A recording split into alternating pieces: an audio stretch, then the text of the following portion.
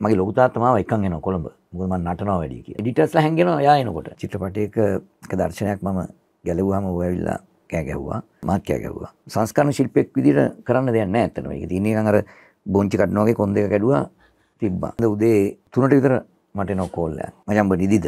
මං කිව්වා නිදි නැති කතා කරන්නේ නැහැ නේ. මොකද්ද උඹ ඇඹරෙන්නේ? මං කිව්වා පොඩ්ඩක් මොනවා හරි කරන්න. ආ මං කිව්වා යන් අපි එඩිට් කරනවා. දැන් බුඩ අර නිල් පාට රතු පාට බටන් පේනවද? මං කෝ ආ එහෙනම් තව මෙහෙම යනවා පිටිපස්සට ටේප් දෙක. මොකද්ද මම මේ යක උඹ නෙවෙයි ඔළුව මූණේ ඔළුව. කොක්කු බුදු බඳිනෝනේ මේක එඩිට් කරලා ඉවරනකොට. උඹ මෙහෙම ගාලා බම්බ බලන් ඉන්න ඌ යනවා පිටිපස්සට ඌ ආයෙනවා ආයෙ මොකද්ද මේ? බෝක හමන්නලා තියපන් මං එන්නම් හවස කියලා කිව්වා. සතුට බැරි කවට පිටට ගහම ඇඟිලි පහම පිටේ තියෙනවා. ඊට පස්සේ ගෙනල්ලා බම්බල් පිටි හන්දියේ මාව බස්සලා උඹ ගෙදර ඵලයන් දැන් ඕන කරන්න බෑ හෙට උදේ වරයි කිව්වා. මේ වෙනකොට මම චිත්‍රපට 100කට අධික සංඛ්‍යාවක සංස්කරණ ශිල්පියෙක් විදියට වැඩ කරලා තියෙනවා. Beat the glare with shades that truly care for your eyes at Vision Care.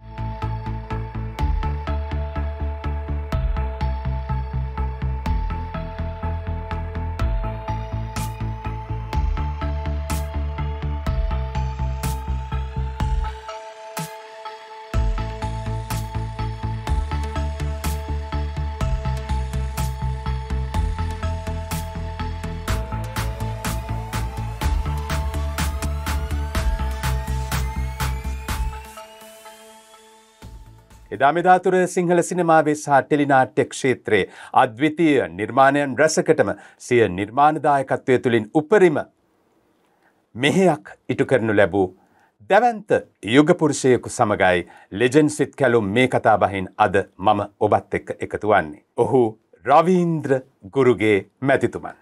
ඉතාමත්ම ආදරයෙන් ගෞරවෙන් ආයිබුවන් කියලා ඔබ පිළිගන්නවා.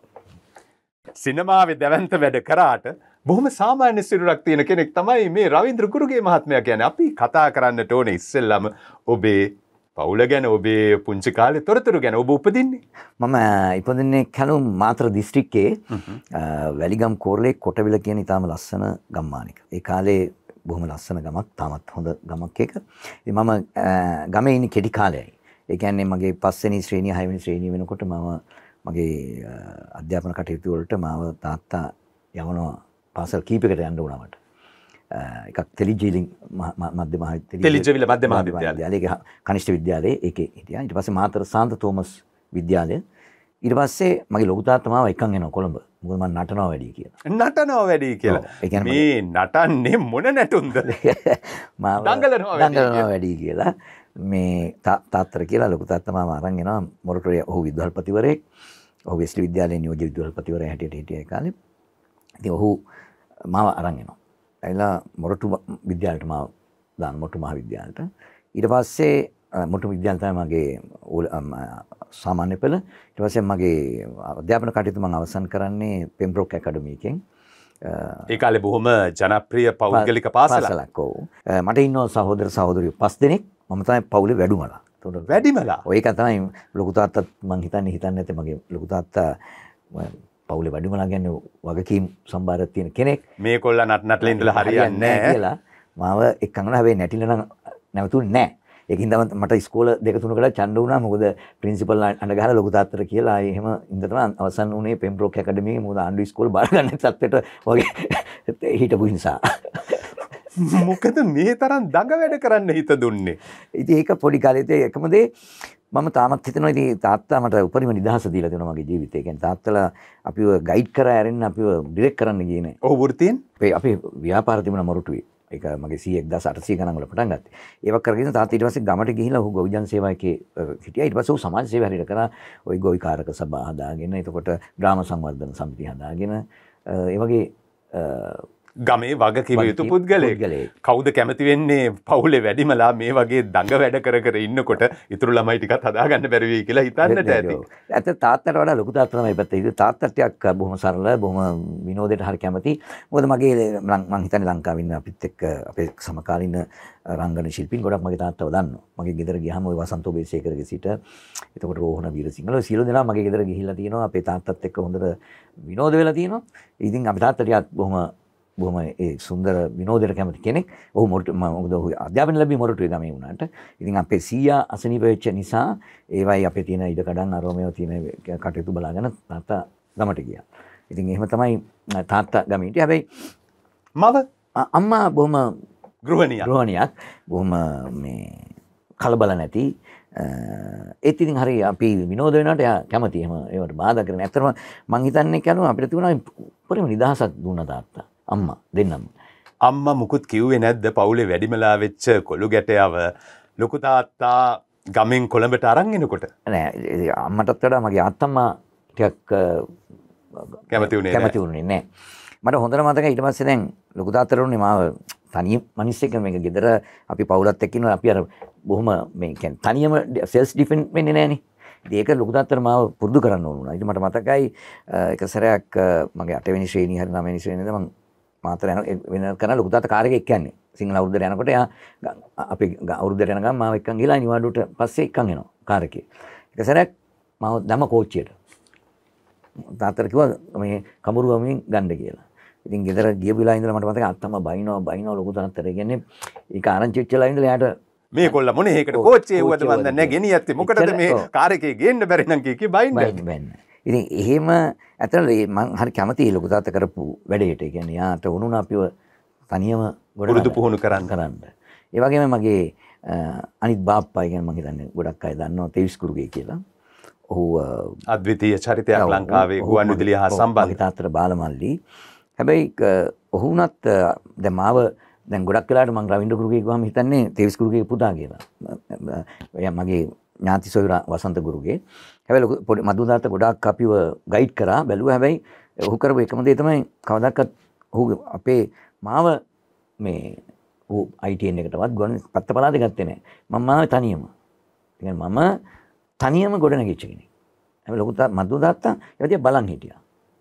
ඒ බලන් හිටියේ යාම යාම මට මතකයි එක දවසක් කියනවා දැන් මට ඔයාලට උදව් ක- ඔයාව ගෙනියලා කොහේ හරි දාන්න පුළුවන් හැබැයි මම නැති වෙච්ච දවසක ඔයා එතකොට තනියම නැගිටින්න මම තනියම ආවේ මේ ගමන තනියම එන්න. ඒකම දේ ඔවුන් ආදර්ශයක් වුණා මට. හැබැයි මේ උදව් කරනවා කියලා ගිහිලා ආ, ආණ්ඩුවේ තැන්වල කොහේ හරි මේ රූපවාහිනී සංස්ථාව මොකද? ඔහු ලංකාවේ පළවෙනි අ, ඔහු ඇත්තටම රූපවාහිනී සංස්ථාව මුල්ගල් තිනුනට ඔහු තමයි ඒක හිටියේ. ඔහු තමයි ITN එකේ පළවෙනි අ, ස- අ, නිසි බලධරයා. ඔහු යටතේ තමයි තිබුණේ. කවදාකවත් අපිව ගත්තෙම නැහැ. කියන්නේ ඔව් මං ගුවන් විදුලියට ගියේ ගියේ ඔහුගේ මරණෙත් එක්ක. මොරටු විද්‍යාලයෙන් අධ්‍යාපනය ලබලා කැටවරයෙක් විදියට තරුණයෙක් විදියට සමාජයට එළඹෙන රවීන්ද්‍ර කුරුගේ මහත්මයට. කොහොමද හිතෙන්නේ කවුරුවත් වැඩිය මේ තරුණයෝ යොමු නොකරන මානයකට ඔබේ හිත අරගෙන යන්න මේ සංස්කරණ ශිල්පියෙක් වන්න. ඕලෙවල් ඉවර කළා එනෝනේ කාලයක් නිකන් ඉන්න. දැන් මගේ ලොකු තාත්තා එහෙම කැමති නැහැ නිකන් ඉන්නවට. එතකොට ඒ කාලේ තිබුණා ඇත්තටම පාසල් වල එක්ක මෝටර් මෙකැනිසම් එක්ක ෆොටෝග්‍රැෆි එහෙම මේවා. ඉතින් මම එයා මාව දැම්මා මේ මෝටර් මෙකැනිසම් වලට. නිකන් ඉන්න එපා ගෙදර. රස්තියදු ගහන්න එපා. ඔබ මොනව හරි ඉගෙන ගන්න. ගැන හැබැයි මට ඒකම ඒක ගියා මාස තුන. එහෙම ඒකත් ඉන්ටරෙස්ටිං පොඩි කාලයක් යනකොට මම දැක්කා මේ යුනෙස්කෝ යූත් ෆෙඩරේෂන් එකෙන් ෆොටෝග්‍රැෆි පාඨමාලාවක් කරනවා මර්දානේ. මම ඒකට ඇප්ලයි කරා. ඊට පස්සේ මම පටන් ගත්තා ෆොටෝග්‍රැෆි ඉගෙන ගන්න. ඒක ඊට පස්සේ මට තේරුණා මේක තමයි මගේ මාධ්‍ය. ඉතින් ලොකු තාත්තට උනේ මාව වෛද්‍යවරයෙක් හරි එහෙම කරන්න වෙන්න ඕනේ. ඔහු තයි තාත්තටයි සේරටම ඒ කියන්නේ මම මෙඩිසින් වලට දාන කියන්නේ ඇඩ්වාන්ස් වල කරන්නේ වෛද්‍ය මේ බයෝසයන්ස් වලින් මම. නමුත් මම මට තේරුණා මේක ඇතුළේ ඊට පස්සේ මම කැමරාවක් හොයාගෙන ඒ කාලේ පින්තූර ගන්නවා. ඒ මොකද අපි බ්ලැක් ඇන්ඩ් වයිට් නේ කාලේ තිබුණා 70 ගණන් ඉතින් තනියම ඩෙවලොප් කරනවා තනියම print කරනවා. ඊට පස්සේ එක්සිබිෂන් වලට දානවා. ඊට පස්සේ ඒක ඩිප්ලෝමා එක ඉවර කරා. ඒ මේ ඩිප්ලෝමා එක ඉවර කළා. ඇඩ්වාන්ස් දෙවන වසර කරලා ඉවරනකොට තමයි ලංකාවට රූපවාහිනිය ආයේ 79 ඇවිල්ලා. ඒතකොට 78 තමයි මගේ ඇඩ්වාන්ස් වල ඉවර කරේ 79 රූපවාහිනිය ඇවිල්ලා ඒතකොට 80 වගේ අ, මේකට සම්බන්ධ වෙන්නේ මොකද ඒතකොට මගේ ඇත්තටම ඥාති සෝර වසන්ත ගුරුගේ ඔහු අ, මේකේ ඉංජිනේරුවරයෙක් හැටියට රු- සින- රූපවාහිනී ඉංජිනේරුවරයෙක් හැටියට හිටියා ඔහු අ, ශේෂ්ත්‍රයත් එක්ක තාක්ෂණික පැත්තෙන් සම්බන්ධ වුණා. ඒකින්ද මට පුළුවන් වුණා ඔහු හරහා ඔහු මට උදව් කරා. ඊට පස්සේ ඒ හරහා ඉස්සෙල්ලම අ, 82 කියන්නේ රූපවාහිනී සංස්ථාව පටන් ගන්නත් ඉස්සෙල්ලා සැලසිනේ රූපවාහිනිය පටන් ගත්තා. ඒකේ මුල්ම කණ්ඩායම සමාජිකයෙක් විදිහට අම්, මට යන්න පුළුවන් වුණා කැමරා ශිල්පියෙක් සහාය කැමරා ශිල්පියෙක් හැටියට. එතන මම අවත් මේ ගියේ මට ඇත්තම වුණා වුණා ෆොටෝ කැමරාමන් කෙනෙක් වෙන්න මොකද මම ෆොටෝග්‍රැෆි ඉගෙනගෙන තියෙන්නේ. මගේ ඩිප්ලෝමා එකේ තියෙන ෆොටෝග්‍රැෆි මං ගියේ කැමරාමන් කෙනෙක් වෙන්න. නවතුනේ එඩිටර් කෙනෙක් සහ නිෂ්පාදකයෙක් කියලා තමයි නවතුනේ අන්තිමට. මේ ආපු ගමන ගැන කතා කරනකොට කැමර ශිල්පියෙක් වන්නට සිහිනමවපු රවීන්ද්‍ර කුරුගේ තරුණයට. කොයි විදියටද මේ සංස්කරණය පැත්තට හිත යොමුණේ? මොකද ඒ කාලේ සිනමා සංස්කරණය ගැන කතා කරනකොට අමතක කරන්නට බැරි නම් කිහිපයක් අපේ මතකයට එනවා. ටයිටස් තොටවත්ත මහත්මයා ආචාර්ය සුමිත්‍රා පීරිස් මහත්මිය ඒ වගේම ස්ටැන්ලී ඩී අල්විස්. මහත්මයා ලාල් පියසේන. මහත්මයා එල්මෝ හැලිඩේ. මේ වගේ බොහෝ දෙනෙක් බොහොම දැවන්ත කාර්යභාරයක නියැලිලා හිටියා සංස්කරණ කටයුතු සම්බන්ධයෙන්. තරුණයෙක් විදියට මේ සංස්කරණ කටයුතු වලට යෙදෙන්නට හිත දුන්නේ කොහොමද? ඒකත් හම්බෙන් වෙච්ච දෙයක් මං එතකොට කැමර සිස්ටන් කැමරමන් හැටියට වැඩ කරනවා අ, ඇත්තරම මේ ඔය කාලේ රූපහනි මාධ්‍ය මේ ඔය මේ සංස්කරණ කියන හරිටියක් බෝරිං වැඩක් ඔය මොකද හේතුව හරි ඒක ඒකට යන කාලය ඉතා වැඩි ඉතින් අපි තරුණ වෙන ගොඩක් තරුණ කැමති නැහැ එතෙන්ට ඉතින් හැමෝම කැමරමන් වෙන්න සවුන්ඩ් ඩීජේ රෙකෝඩිස්ට් වෙන්න ඕකට තමයි ගියේ හැබැයි එතනින් ඒ වැඩේ ඉවරයි. ඉවරයි. එකම දේ ඒ කාලේ අපිට හැම ශ්‍රේෂ්ඨයක්ම පුහුණුව තිබ්බා. එතකොට මම ම, මගේ පළවෙනි පාඨමාලාව ඉවර වෙනකොට ශේෂ්ත්‍ර තුනම ගැන අත්දැකීම් දුන්නා. නමුත් දැන් රූපවාහිනී IT සැලසිනි පටන්ගෙන එනකොට අ, මේකේ ගොඩක් වෙලා රැඳෙන්නේ නැහැ එඩිටර් කෙනෙක් වෙන්න. හැබැයි මට තේරිච්ච ඇත්තයි මේක මේක ඇතුලේ මේ තාක්ෂ මොකද ෆොටෝග්‍රැෆි වල අපි ඉගෙනගෙන තිබෙන චින්ත ඡායාරූප ශිල්පය හදාරපු කෙනෙක් හැටියට ඒ කාලේ තිබිච්ච කැමරාවල තියෙන හරි සීමිත වපසරියක තමයි අපිට වැඩ කරන්න තියෙන්නේ. ඒ කියන්නේ අපිට අපේ තියෙන නිර්මාණාත්මක හැකියාවේ මේ සිංගල් ටියුබ් කැමරා එකක් කරා එළියට දාන්න බෑ ෆොටෝග්‍රැෆි වල තියෙන. ඉතින් එතකොට ඒක ඒක මට එච්චර ඇල්ලුවේ නැහැ. මොකද හරි ඔටෝ ඒක ඇතුලේ අපිට ගොඩක් දේවල් කරන්න දෙයක් නැහැ. එහෙම ඉන්නකොට හැබැයි මට තේරුණා මේ එඩිටිං වල ගියොත් මේක ඇතුලේ ටෙක්නොලොජි එක අල්ලගන්න පුළුවන්. මගේ නිර්මාණ පැත්තට මම හිතේ ඒ පැත්ත ඉස්සෙල්ලා. මම ඉන්න අතරේ විජය ධර්මශ්‍රී ඔහුගේ පළවෙනි වාර්තා වැඩසටහන කළා 82 ඊට පස්සේ එක දා කියන්නේ එඩිටර් කෙනෙක් හොයනකොට මට කිව්වා මැෂින් එක අපි බලමුද කියලා. ඊට පස්සේ මම ඇත්තටම ඒ ප්‍රෝග්‍රෑම් එක සති දෙකක් විතර එඩිට් කරනවා මට එයා අ- අතින් අල්ලනවා රවි ඔයාගේ ඇඟේ තියෙන එඩිටිං නිකන් එහෙම ර- යන්න එපා. ඔයා එඩිටිං ස්ටාර්ට් කරන්න. ඔයාගේ රිද්ම් එක තියෙනවා. ඔයාගේ අ, ඒක ඇඟේ තියෙනවා ඔයාගේ. ඇයි ඉතින් ඔයා මේ මේ මෙන්න ඔය මේ හැමෝම දුවන වගේ ෆොටෝග්‍රැෆර්ස් යන්නේ මේක කරන්න ඕන මේක මේකේ වාට ඔයා මේක තමයි ඔයාගේ ගමන පටන් ගන්න ඕන. ලෝකේ ඉන්න විශිෂ්ටම සංස්කරණ ශිල්පීන් සේරම ඩිරෙක්ටර්ස් වල නැවතුනේ. ඒවා මෙතෙන්ට යන්න ඇයි ඔය ඔතෙන්ට යන්නේ කියලා. එතනින් තමයි මම එඩිටර් කෙනෙක් වුණේ. ඊට පස්සේ ඇත්තටම මට ඒක හරහා වෙච්ච ලොකුම දේ තමයි මට ලංකාවේ හිටපු ඒවකට හිටපු සියලුම විශේෂතම අධ්‍යක්ෂකවරු මාත් එක්ක වැඩ කරා. කියන්නේ ටෙලිවිෂන් එකේ උන්ගේ පළවෙනි වැඩසටහනින්ද මාත් එක්ක වැඩ කරා. ආචාර්ය ලෙස්ටර් පීරිස්, ආචාර්ය සුමිත්‍රා පීරිස් මැතිනිය, වසන්ත බේසේකර, සුගතපාල සෙනරච්චාපා, විජය ධර්මශ්‍රී, තිස්සා බේසේකර, ධර්මශ්‍රී බණ්ඩාරනායක, ඉතින් යහ පරාක්‍රම රියලෝ මේ කණ්ඩායම සියලු දෙනා එක වැඩ කිරීමේ වාග්ය උදා වුණේ ඔය එඩිටිං වලට මම ගියපු නිසා සහ ඊට පස්සේ ඇත්තටම දැන් වසන්තෝ බේසිකලා මේ මේ ආචාර්ය පීරිස්ට වගේ ගත්තාම උන්ගේ අවසාන නිර්මාණය දක්වා මට උන් එක්ක වැඩ කරන්න අවස්ථාව වාග්ය හම්බුණා මම හිතනවා මම ශාස්ත්‍රානුකූල හැදෑරීමක් කරලා තිබ්බේ නමුත් ඊට වඩා දහස් ගාණක් වටනවා මට විශ්වවිද්‍යාලේ ගියාට වඩා විශාල දැනුමක් ගන්න හම්බුණා ආචාර්ය පීරිස් වසන්තෝ බේසිකලා ඇත්ත එක්ක ප්‍රායෝගිකව වැඩ කිරීම හරහා. මම හිතනවා ඒක ඒ දාපු පදනම තමයි අද යම්කිසි තැනක ස්ථානගත වෙලා ඉන්නවනම් ස්ථානගත වෙන්න මූලික අඩිතානම උනේ. ටෙලිනාට්‍ය ක්ෂේත්‍රයේ සංස්කරණ ශිල්පියෙකු වන්නට ඉස්සෙල්ලා මං හිතන්නේ වැඩ කරන්නට ඇත්තේ සිනමා නිර්මාණවල. නෑ කළු මම පටන් ගත්තේ රූපවාහිනී මාධ්‍යයෙන්. එතකොට මොකද සිනමාවේ ලොකු දැවැන්තයෝ ගොඩක් ලංකාවේ හිටියා. මොකද රූපවාහිනිය තමයි අලුත් මාධ්‍ය වුණේ. එතකොට රූපවාහිනියේ තමයි අලුත් කණ්ඩායමක් හැටියට කියන්නේ ලංකාවේ පළවෙනිම රූපවාහිනී කණ්ඩායම වල කෙනෙක් තමයි මම. ඔබේ තරුණාවදිය. ඔය තරුණ අවදි අවුරුදු 22 මම අවුරුදු 21 දී තමයි රූපහින්ට එන්නේ කියන්නේ රූපහිනී මාධ්‍ය එන්නේ. ඒ කියන්නේ 79 80 වෙනි පටන් ගත්තේ. ඒතකොට 81 මම 80 ඉඳලා අ, ශාස්ත්‍රය තුල හිටියත් වෘත්තිමය වශයෙන් මම වැඩ කටයුතු පටන් ගත්තේ 82 මොකද සිනමාව එතකොට ඇත්තටම 80 ගණන් වෙනකොට 80 දශක වෙනකොට සිනමාව වැටලා තිබ්බේ. සිනමාවේ හිටපු ගොඩක් අය මේකට හිමි මේ අලුත් මාධ්‍යයට එන්න පටන් ගත්තා. කියන්නේ තිස්ස බේසේකර වගේ අය මේ මේ ධර්මසේන පත්තිරාජ ඔය අය මේකට සංක්‍රමණය වෙමින් ඉන්න කාලේ. හැත්තෑව දශකේ තමයි සිංහල සිනමාවේ ස්වර්ණමය අවධිය ඊට පස්සේ අසුව දශකේ අගභාගය වන විට ටික ටික සිංහල සිනමාවේ තරන් සාර්ථක නිර්මාණ ඒ වගේම වානිජමය නිර්මාණ උනත් දකින්නට ලැබුණේ නැහැ. ඒ තැන ගත්තේ පුංචි තිරය. පුංචි තිරය. මොකද පුංචි තිරයත් එක්කම මං හිතන්නේ සිනමා පොඩක් පාපස්සට ගියා. ඒකට සිනමාවට මුණ දෙන්න ඒ කාලේ අයට එකන අදැකීම් එකන ඒ පිළිබඳ අධ්‍යයනයක් කළ තිබුණ නැති හිද වෙන්න ඕන එක වන්න ලෝකෙම එහෙම වෙලා තිබුණා එකැනෙ ලෝකෙම සිනමාව දියුණුවෙන් එක හේතුවක් තමයි මේ ඒකත් එක්ක පිටිපස්සේ ආපු රූපවාහිනී මාධ්‍යයේ දියුණුව. මොකද රූපවාහිනිය ඒ කාලේ කළු සුදු වෙනකොට සිනමාව පටන් ගන්නකොට සිනමාව දැක්කා මේක අපිට තර්ජනයක් වෙනවා. ඒ කට්ටිය වර්ණ වලට එන්න පටන් ගත්තා. ඊට පස්සේ වර්ණ වල ඉන්නකොට මේ කට්ටිය පටන් රූපවාහිනිය සිනමාව දැනගත්තා. මෙතනින් එහාට යනකොට මෙයා එනවා අපිත් එක්ක පිටිපස්සේ. ඊට පස්සේ තමයි ඊට පස්සේ ඒක ඉස්සල මොනෝ තිබිලා ඊට පස්සේ ඒක ස්ටීරියෝ සවුන්ඩ් වලට ඇවිල්ලා ඊට පස්සේ ඒක 5.9 නැවිලා 7 පොයින්මන් නොට ඇවිල්ලා අද කැන ඒ ඩියවලප්මටකට එක හේතුවක්තෑ මේ රූපානි මාධ්‍ය අනික් පැත්තෙන් එන එක. රූපානය දියවනට එකට වඩා උඩට මේකන්න නොත්තන් ගෙදර බලන්නට වඩා හොඳ වෙන්න ඕනේ සිනමාසාලාවට කියලබන්න තොට සිනමාසාලා ඇතුළේ ්‍රීඩියෙන්න්න පටන් ගත්තා. ඒ වෙනස්ම අදැකීමක් ගන්න පටන් ගත්තා. සිනමා සිනමාව දියවලන මුලික හේතු හැබැයි අපි ඒකේ නැවතුනාතන එකතයි එක හේතුවක් වුණේ. එකකාල අනිතක රූපාහනී ආපු ගමන් රූපාහිට මිනිස්ු ආශක්ත වුණා. එක ලෝකෙම වුණා ඉස්සෙල්ලා. හැබැයි අනිත් රටවල් ඒකෙන් ගොඩාවා. අපි මට තේරෙන විදියට ඒ කාලේ අපිත් හැදුවේ ඉතින් ටෙලිනාට්‍ය වගේ වනේ චිත්‍රපටි වල.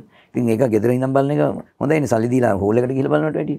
එතන තමයි හිර වෙන්න හේතුව. ඉතින් ඒකත් එක්ක සිනමාවේ හිටි අය ගොඩාක් සංක්‍රමණය වෙන්න පටන් ගත්තා රූපහිනී මාධ්‍යයට. ඒක එකක් අලුත් මාධ්‍යයක් නිසා විශාල එකපාරට ජනප්‍රිය වුණා. ඉතින් ඒකත් එක්ක මට මං හිතනවා ඒ සියලු දෙනා එක්කම වැඩ කරන්න.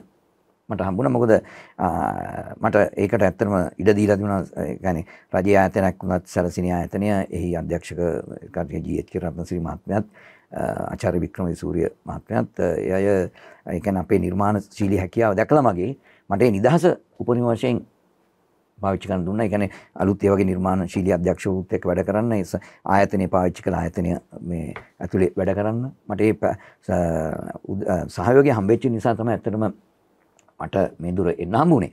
මොකද සාමාන්‍ය රජ ආයතනයක් වුණාම එහෙම දෙන්නේ නැහනේ. රජ ආයතනයක් වුණාම ඒක ඇතුලෙන් එළියේ ඇයට ඇවිල්ලා වැඩ කරන් දෙන්නේ නැහැ. නමුත් සැලසිනේ නිදහස මට ලබා දීලා තිබුණා. විශේෂයෙන්ම වසන්ත බේසේකර ආචාර්ය පීරිස් තිස්ස බේසේකර විජය ධර්මශ්‍රී සුගතපාලසිංහ අපි දෙන්නම ඇත්ත විජය ධර්මශ්‍රී යාපා දෙන්නම මිස්ටර් යාපා දෙන්නම හිටියේ සැලසිනේ ආයතනයට අනුයුක්ත වෙලා. නමුත් තිස්ස බේසේකර වසන්ත බේසේකර එතකොට ආචාර පිරිස් සුමිත්‍රා පිරිස් මැතිනිය වගේ අය බාහිරවයි මාව හොයාගෙන එල මාව හම්බෙන්න ඇවිල්ලා මාත් එක්කම එඩිට් කරන්න මට ඒකින්ද එතන පැසිලිටිස් පාවිච්චි කරන්න හම්බුණා. ඒවත් එක්ක මට මගේ වැඩ කටයුතු එතන කරගෙන යන නිදහස හම්බුණා. ඒ නිදහස තමයි මම හිතන්නේ මට ලොකුම දායකත්වයක් වුණේ මේ මේ මගේ වෘත්තිය මෙතෙන්ට ගොඩනගා ගන්න. ඔබ කිව් පරිදි සැලසිනී පාලනාධිකාරිය බොහොම මැනවින් වටහාගෙන තිබෙන්නට ඇති එතනට ආපු අපේ රටේ හිටිය ශ්‍රේෂ්ඨ සිනමාකරුවන්ගේ අත්දැකීම් සම්භාරය නූතන පරපුරට ලබා ගන්නට නන් ඔවුන්ට ඒ සඳහා අවශ්‍ය කරන ඉඩ ප්‍රස්ථා ලබා දිය යුතුය කියලා. ඉතින් එදා වුන්නේ ගත්ත හරි තීරණය නිසාවෙන් තමයි අද වෙන විට ශිල්පීය ඥානයේ පැත්තෙන් ඉදිරියෙන්ම සිටින මේ වගේ දැවැන්ත චරිත ගැන අපිට කතා කරන්නට ලැබෙන්නේ. ටෙලිනාට්‍ය ක්ෂේත්‍රය දිහා ආපහු හැරිලා බැලුවාම ඔබ සංස්කරණ ශිල්පියා වශයෙන් කටයුතු කරපු ප්‍රේක්ෂක ආදරය උපරිමයෙන් දිනාගත්ත නිර්මාණ කීපයක් මතක් කරන්නට කියලා කිව්ව. මාලා නාටකයේ පළවෙනි එක තමයි සමන්තැන්න විජයධර්මශ්‍රීගේ. ඒ කාලේ තිබිච්ච එකක් ජනප්‍රිය නාට්‍යයක් වුණා. අතිශයින් ජනප්‍රිය වුණා සමන්තැන්න. එතන ඉඳලා ඇත්තම ගත්තොත් ආචාර්ය පීරිස්ගේ ටෙලිනාට්‍ය දෙකක් තියෙන මාලා නාටක එකක් ආවර්ජනා කියලා කෙටි මේ කියන්නේ කොටස් 6ක ඊට පස්සේ ගිරය මම හිතන්නේ ලංකාවේ ජනප්‍රියම නාට්‍යයක් ගිරය ටෙලිනාට්‍ය ඊට පස්සේ යසෝරාවේ දෙක ඊට පස්සේ දූ දරුවෝ කන්ද ගෙදර දෙක එවැනි මම හිතනවා ඒ කාලේ තිබිච්ච නාට්‍ය 300කට අධික සංඛ්‍යාවක්. මම ඇතින් සංස්කරණය වුණා 300කට 400කට මොකද එච්චර දැන් මතකයේ අඩුයි ටිකක් අවුරුදු 40කට 35කට ඉස්සෙල්ලා තිබිච්ච නිසා. මේ මම හිතනවා දූ දරුවෝ කරද්දි ඉතින් අපිවත් මෙහෙම කළා කපලා දාන්න ඇති නැත්නම් ආයි දාන්නත් ඇති. අනිවාර්යෙන්ම කැලු මට හම්බෙන්නේ දූ දරුවෙකේදී ඒවා සංස්කරණය කරන්න. ඒ කාලේ ඇත්තට හොඳ කණ්ඩායමක් එකේ හිටියා දූ දරුවෙකේ සියලුම දෙනා උපරිම දායකත්වය දූ දරුවෙකුට දුන්නා. ඒක මම හිතන්නේ ලංකාවේ එවකට විශාල ප්‍රේක්ෂක ප්‍රතිචාරයක් ලැබිච්ච ටෙලිනාට්‍ය. වගේම හැම ගෙදරම මේක තමයි යසෝරාවේ දෙක යසෝරාවේ. ඒ වගේම කඩුල්ල මේ ඒ වගේම වෙදහාමිනි ජයන් සංසිරිගත් මම සංස්කරණයක විදාමිනි අදටත් බොහෝ දෙනෙක් කතා කරන නාට්‍යම නාට්‍ය. ටෙඩිනාට්‍ය කීපයක් ඔහුගේ මං සංස්කරණය කර ජැක්සන්ගේ පළවෙනි ටෙඩිනාට්ටය ඉඳලා සංස්කරණය කර ඉතින් මං හිතනවා එකකාලේ හොඳ ටෙඩිනාට්‍ය සම්ප්‍රදායකුත් තිබුණ ලංකාවේ. ඒකට අපිට දායක වෙන්න හම්බිච්ච ගැන මං හිතනවා ගොඩක් සතුටු වෙනවා. මොකද හේතුව ඒ කාලේ සිනමාවේ තිබිච්ච අඩුව වහගන්න පුළුවන් වුණා ටෙලිනාට්‍ය හරහා මං හිතනවා. ඒක හින්දා ලෝකයේ අනිත් රටවල් වල අපි හිතමු සෝප් ඔපෙරා හැටියට ගත්ත ටෙලිනාට්‍ය ලංකාවේ ඇතුලේ හොඳ ටෙලිනාට්‍ය සංස්කෘතියක් ගොඩ නැගුවා. ඒක හරහා ප්‍රේක්ෂකයාට හොඳ රුචිකත්වයක් ගොඩනගාගෙන ආව ඇත්තටම 93 විතර වෙනකම්. 93 94 විතර වෙනකම් ඊටාම හොඳ ප්‍රේක්ෂකින්ගේ රුචිකත්වය වර්ධනය කරන්න ටෙනිනාට්‍ය සමත් වුණා විතරක් නෙවෙයි මට මතකයි ඒකල් ටෙනිනාට්‍යයක් කිව්වම ඒ ගැන සෙමිනාර්ස් තියෙනවා ඒ ගැන සාකච්ඡා යනවා ඒ තරම් ඒවා ඇතුලේ කතා කරන්න ඕන දේවල් තිබ්බා හැබැයි ඒ ගැඹුර නැති වෙලා ආයි නිකන් පරණ අර ලෝක ඉන්දියාවේ යන සෝප් ඔපෙරා ගන්නට 93න් පස්සේ ආවා ඒ කියන්නේ ඒකට මූලික වගකීම් ගන්න ඕන පෞද්ගලික නාලිකා ලංකාවට ආවා ඒ නාලිකා හිස්තැන් පුරවන්න ඉන්දියාවෙන් ගෙනල්ලා හඬ කවපු ටෙලිනාට්‍යය පටන් ගත්තා. ඒතකොට අර තිබිච්ච ගුණාත්මක ටෙලිනාට්‍ය කියන එක කලාව හිමින් සැර ඈත් වෙන්න පටන් ගත්තා. එතකොට ඒවා කරන්න නිර්මාණකරුවෝ හිමින් ඈත් වෙන මොකද උන්ට තරගෙත් එක්ක මුණ දෙන්න බෑ. වගේ ගුණාත්මක ඒවා හදාගෙන මොකද මේ ඇත්තට ඒ කාලේ මම හිතන්නේ කැලුම් ඔයා දන්නවා දූ දරුවෝ වගේක් කරන්න ගියාම එක කොටසකට දවස් 3ක් 4ක් ගත කරනවා. අද කොටස් දෙකක්ම කරනවා එක දවසේ.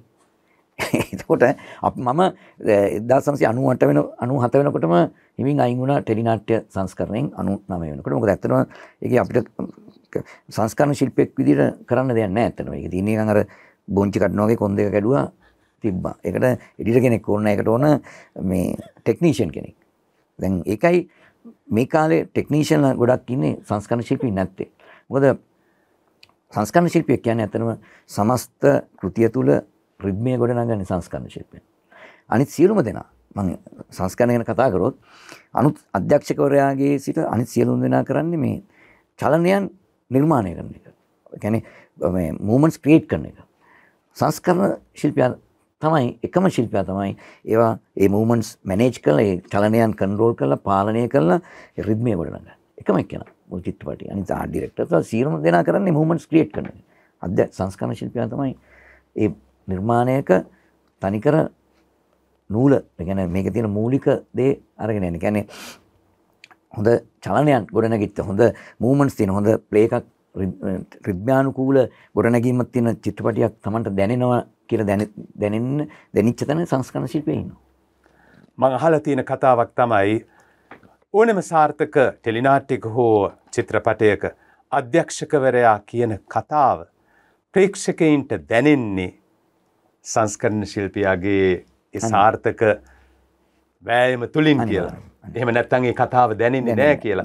ඔහුගේ හිත කියවන්නට අධ්‍යක්ෂකවරයාගේ හිත කියවන්නට සංස්කරණ ශිල්පයාට පුළුවන් වෙන්නට ඕන කියලා. සංස්කරණ ශිල්පයා මේ මුලින්ම රූප ටික බලනකොට ඒ රූප හරහා තමන්ගේ අධ්‍යක්ෂකවරයා තේරුම් ගන්නවා. ඒ අධ්‍යක්ෂකගේ තින්කින් එක රූප හරහා සංස්කරණ ශිල්පියාට දැනෙන්න ඕන. නැත්නම් සංස්කරණ ශිල්පියෙ නෙමෙයි. ඒ වගේම හොඳ සංස්කරණ ශිල්පියෙක් කියන්නේ ඒ රූප යම්කිසි චිත්‍රපටයක හෝ ටෙලිනාට්‍යයක මුළු රූප පද්ධතිය දැක්කහම ඒ හරහා එන සිතුවිලි වලට අපි ඉඩ නුදුන්නොත් ඔහු හොඳ සංස්කරණ ශිල්පියෙක් නෙමෙයි. දැන් අපි පිටපත තියෙන්නේ. දැන් සාමාන්‍ය පිටපත ගෙනල්ලා කියවුවාම අපිට එන අදහසක් තියෙනවා. හැබැයි ඊට වඩා ගොඩාක් වෙනස් අදහස් එන්න පටන් ගන්නවා රූප ටික දැක්කහම. චලනය වෙන රූප දැක්කහම. මොකද අරක වෙන මාධ්‍යයක්. රූප කියන්නේ තව මාධ්‍යයක්. අර මාධ්‍ය කියවනකොට දැනෙන දේ නෙමෙයි අර රූප දකින්නකොට දැනෙන්න ඕනේ. ඒක දැනෙන්නේ සංස්කරණ ශිල්පියෙකුට විතරයි. මොකද ඒ සංස්කරණ ශිල්පිය කියන්නේ ට්‍රේන් වොචර් කෙනෙක්. ඒ චලනයන් හරහා තමන්ගේ අදහස් ගොඩනගා ගන්න කෙනෙක්. ඒ කියන්නේ චලනයන්ට අපි නිතරම රියැක්ට් කරනවා. අධ්‍යක්ෂ මේ සංස්කරණ ශිල්පියා. ඒතකොට මෙන්න මේ රූප දැක්කහම එන සිතුවිලි ප්‍රමාණයක් තියෙනවා. සිතට. ඒ සිතුවිලි මට අයිති දේවල් නෙමෙයි අයිති අර රූප වලට.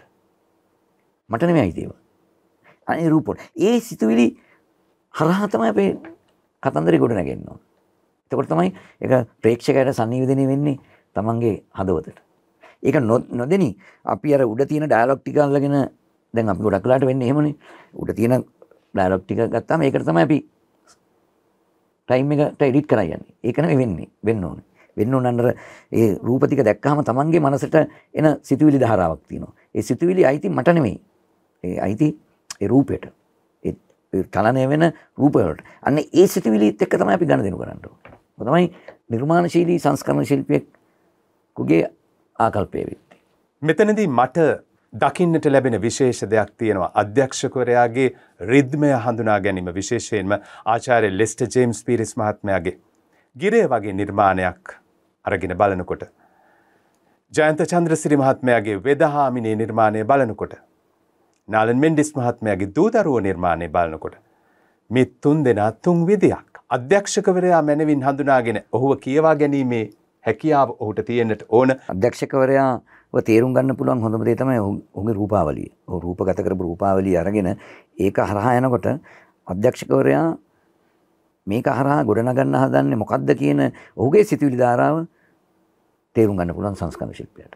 ඒ සඳහා ඒක නිතරම කියන්නේ මේ රූප පෙළ එක සැරයක් නෙමෙයි දෙසරයක් නෙමෙයි තුන් සැරයක් නෙමෙයි හතර සැරයක් නරඹන්න සංස්කරණයට වාඩි වෙන්න ඉස්සෙල්ලා කියලා. ඒක අපි ඉගෙන ගන්න දෙයක්. ඒ කියන්නේ රූප ටික බැලුවාම ඒක හරහා අධ්‍යක්ෂකවරයා පිළිබඳ කියවීමක් එනවා. ඔහුගේ ඔහු ඔහුගේ සිතුවිලි ධාරාවල් කොහොමද මේ චරිත හරහා ගොඩ නැගුණේ කියන එක එනවා. ඒ තේරුම් ගැනීම අධ්‍යක්ෂකවරයා සහ සංස්කරණ ශිල්පියා අතර පමණමයි වෙන්නේ. ඒ ඒ තේරුම් ගැනීම වෙන්නේ මෙන්න මේ රූප හරහා. ඒ නිසා නිතරම තමන් රූපගත කරපු රූප දිහා දහසරයක් සියසරයක් බලන්න ඕනේ. එතකොට අධ්‍යක්ෂකවරයාත් හිතන්නේ නැති ප්‍රමාණික තැන්වලට අර රූපහරහා කතන්දරේ ගෙනියන්න පුළුවන්. එහෙම අනිවාර්යයෙන්ම අපි අතින් වෙලා තියෙනවා. චිත්‍රපටයක් හෝ ටෙලි නාට්‍යයක් තමන් හිතාගෙන ආපු කාර්යයට වඩා වෙනස් විදියකට සංස්කරණ මැදිරියෙන් එළියේදී මේක ඇතුළේදී ගොඩ නැගෙනවා. ඒක හින්දා තමයි සත්‍යජිත් රායි වගේ කෙනෙක් කියන්නේ සංස්කරණය කියන්නේ නැවත ප්‍රතිනිර්මාණය වෙනවා. රීඩිරෙක්ෂන්. නැවත ප්‍රතිනිර්මාණය වෙන්නේ සංස්කරණ මැදිරියේදී කියලා. ඔන්න ඒ කැල තමයි ඒක ඒක වෙන්නේ යන රූප හරහා සංස්කරණ ශිල්පියාගේ සිතුවිලි ධාරාව කොහොමද ගණදෙනු කරන්න කියන එක. දැන් ඕක කියනවා මේ කතාවක් කියන්නේ සිනමා නිර්මාණයක් ඒක හදපු අයට වඩා සිනමා නිර්මාණය බුද්ධිමත් කියලා. නිර්මාණය හදපු කට්ටියට අර නිර්මාණය බුද්ධිමත්. මොකද හේතුව ඒක බලන ප්‍රේක්ෂකයා එක එක ඔහුගේ අත්දැකීම් හරහා ඒක දිහා බලලා කියන කතන්දර විසා වඩා විශාලයි. මොකද අපි හිතමු නැති කතන්දර ප්‍රේක්ෂකයෝ කියන්න පටන් ගන්නවා අර රූප ගැටෙන විදිය බලලා. අන්න ඒක අපි තේරුම් ගන්නවා. ඒකයි මම කියන්නේ නිතරම මේ රූපාවලිය හරහා සංස්කරණ ශිල්පියාට වෙන සිතුවිලි ධාරාවට අපි ඉඩ දිය යුතුයි. එහෙම නැතුව පිටපතේ තියෙන උඩ වචන ටික අරගෙන ඒ රංගපෑම උඩ තියෙන මේක අරගෙන කතාව ගොඩනගන්න ගියොත් ඇත්තටම මේක හදවතට දැනෙන්නේ නැති නිකන් කතන්දරයක් විදියට සිනමා ශාලාවෙන් එළියට කෙනෙක් ප්‍රේක්ෂකයෙක් එන්නේ. නමුත් මෙතෙන්ට දැනෙන්න නම් හදවත දැනෙන්න නම් අනිවාර්යයෙන්ම ඒ එන සිතුවිලි හරහා අපේ ගණදෙනුව කරන්න ඕනේ. සාමාන්‍යයෙන් අපිට සංස්කරණ ශිල්පියෙක් හැටියට මම හිතන්නේ මේක සමහරට තරුණ සංස්කරණ ශිල්පියෙක් බලන්න පුළුවන් මේ වැඩසටහන. ඒකින්ද මම මේ දීර්ඝ ලෙස කියන්නේ අත්දැකීම්.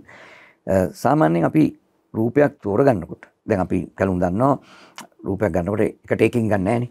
ඒක සමහරට අධ්‍යක්ෂකවරයාට හැංගෙනවා ටේක් හතරක් යනවා පහක් යනවා හයක් යනවා. සංස්කරණ මේ මැදිරියේදී තමයි ගොඩක් වෙලාවට මොකද්ද හරිම දර්ශනය ඊට පස්සේ කැමරා කෝණ කීපකින් මේක රූපගත කරනවා. ඒතර මොන කැමරා කෝණයද මම පාවිච්චි කරන්නේ මොන රූපයද ගන්න එකේ වයිට් ෂොට් එකද එහෙම නැත්නම් මධ්‍ය රූපයක්ද එහෙම නැත්නම් මේ සමීප රූපයක්ද කියන එක තීරණය කරන්නේ ඒ රූපය හරහා ප්‍රේක්ෂක දකින හැඟීම ඒ කියන්නේ රූපේ කොච්චර හැඟීම් ඉමෝෂන් එක තියෙනවද අනේ ඉමෝෂන් එක 150කට එහා පැත්ත තියෙන රූපයක් තමයි සාමාන්‍යයෙන් තෝරගන්න ඕන. ඉමෝෂන් එකට තමයි අපි මූලික තැන දෙන්නේ. ඔය අනිත් දැන් සංස්කරණය ඉගෙන ගන්නකොට අපි ඉගෙන ගන්නවා. ඔකේ තියෙනවා ක්‍රමවේද කීපක්. ඒ කියන්නේ මේ continuity editing එහෙම editing සබ්ජෙක්ට් ගොඩ. හැබැයි ඔය මොන මේක දැක්කත් පළමුවෙන්ම අපි බලන්නේ ඒ රූපය තුල හැඟීම් ගෙනියන්න පුළුවන් රූපය මොකක්ද? ඒක තමයි තෝරගන්නේ. ඊට පස්සේ තමයි අනිත් ටෙක්නිකලි මේක හරිද වැරදිද කියලා බලන්නේ. මට ඉමෝෂන් එක 150ක් තියෙනවා නම් ඒ රූපය තුල අනිවාර්යයෙන්ම ඒක තමයි ප්‍රේක්ෂකයට දැනෙන්නේ. අපි ඒක හරහා තමයි අනිත් රූප පෙළ ගොඩනගන්න ඕන. ඔක තමයි මේකේ තියෙන එක මේ මූලික දේ. ඉතින් සංස්කරණය කියන්නේ කැලුම් මේක නිකන් රූප පද්ධතියක් මේ වචන හරහා සංස්කරණය කරන එක නෙමෙයි. මෙන්න මේ රූපය ඇතුලේ තියෙන ඒ හැඟීම මතු කළා ප්‍රේක්ෂකයට කොහොමද ගෙනියන්නේ කියන එක ඒක කරන මූලිකයා තමයි සංස්කරණ ශිල්පය.